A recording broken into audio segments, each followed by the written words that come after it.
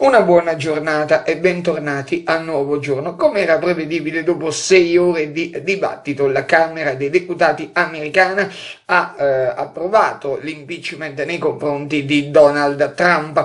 Ora la cosa passerà al Senato a maggioranza repubblicana, anche se la Speaker della Camera Pelosi ha annunciato che i due articoli non saranno inviati al Senato finché non ci saranno garanzie di un processo eh, giusto.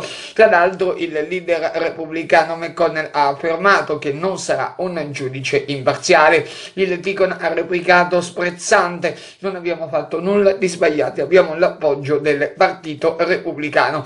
Dice Trump in un comizio in Michigan, questo è il primo impeachment dove non c'è un reato. La cronaca adesso, maxi operazione dei carabinieri delle Rosse del comando provinciale di Vivo Valencia per eseguire ordini di custodia cautelare a carico di 334 persone e facenti capo ad una cosca mafiosa. Sono 416 gli indagati accusati a vario titolo di associazione mafiosa, omicidio, estorsione, usura e anche reati aggravati dalle modalità mafiose. A Serra Capriola i carabinieri hanno arrestato tre persone di origine rumena che si erano introdotti nell'abitazione di un'anziana che era andata eh, a fare una visita alla vicina di casa. Decisivo è stato l'intervento di un cittadino che ha chiamato i carabinieri, una pattuglia che si trovava da quelle parti li ha immediatamente bloccati. Tutti e tre sono stati posti agli arresti domiciliari a Cerignola nel Foggiano ieri mattina conferenza stampa della commissione profetizia che si è insediata da circa due mesi. Si è fatto il primo bilancio di quanto è avvenuto. Ce li riassume in questo servizio Saverio Serlenga. Adriana Sabato ha aperto la conferenza stampa dei commissari prefettizi di Cerignola invitando l'ex sindaco Franco Metta a placare i toni nei confronti di chi ha tutte le intenzioni di risollevare una città che dopo il commissariamento per infiltrazioni mafiose ha tutta la voglia di rinascere. Con i suoi colleghi Umberto Postiglione e Michele Albertini hanno discusso dell'attività svolta in poco più di due mesi dal loro insediamento nella città ofantina.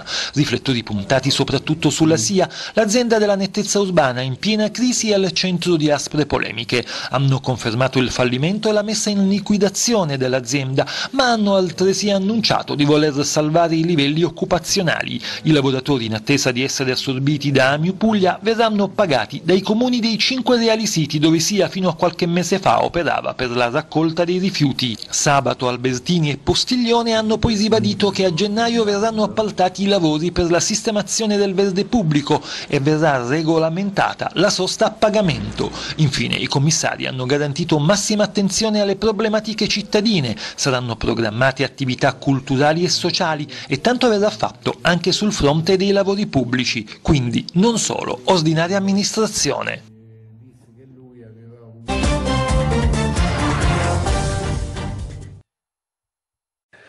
Ed in chiusura alla pagina sportiva il calcio è stato un mercoledì da Serie A. Ieri si sono giocate due partite, una valida per il diciassettesimo turno del campionato che ha visto il successo sofferto della Juventus a Genova contro la Sampdoria con il punteggio di 2 a 1. Iniziale eh, vantaggio con Dybala, poi il pareggio di Caprari e poi il gol risolutore di Ronaldo.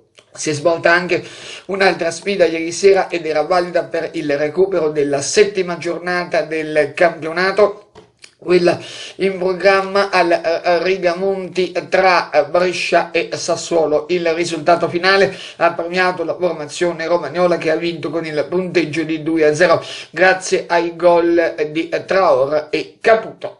Prima di salutarvi vi ricordo quest'oggi l'appuntamento con Live Sport su Radio TRC a partire dalle 10 per la presentazione degli avvenimenti dello sport ofantino. Oggi alle 13.30 eccezionalmente andrà in onda Basket Time che originariamente era programmata al mercoledì ma che per il potrarsi ieri della conferenza stampa della commissione Letizia a Cerignola abbiamo dovuto spostare ad oggi. Prossimo appuntamento con l'informazione di speciale News Web 24 come sempre stasera con prima serata. Grazie per l'ascolto e a tutti una buona giornata.